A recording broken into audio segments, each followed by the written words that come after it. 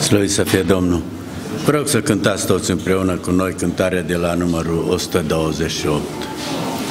Să crezi adânc în Dumnezeu cel veșnic. Să crezi adânc în Dumnezeu cel veșnic și lui Hristos pleci, Că nu-ți mai mulți mântuitori pe lume, Ci numai acum și în veci,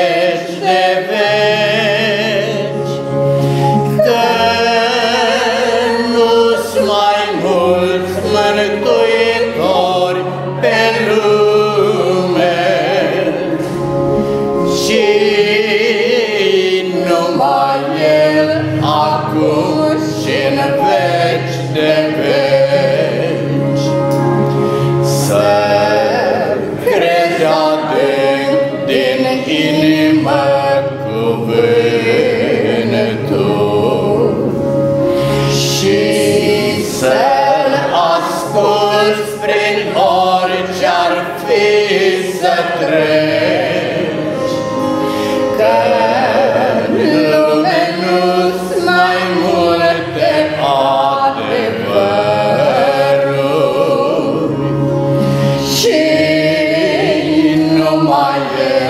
acum și în veci